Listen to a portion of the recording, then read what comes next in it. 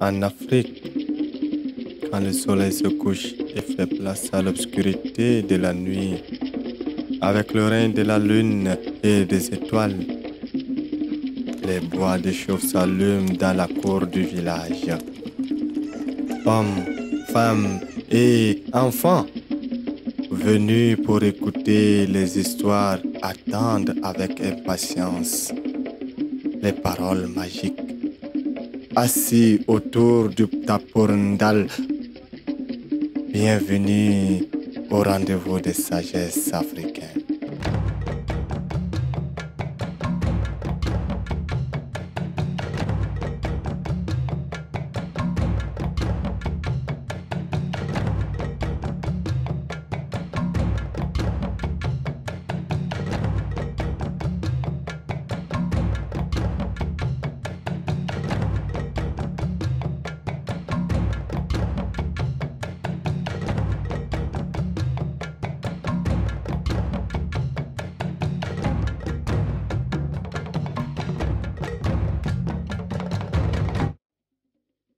Je vois que les enfants sont assis.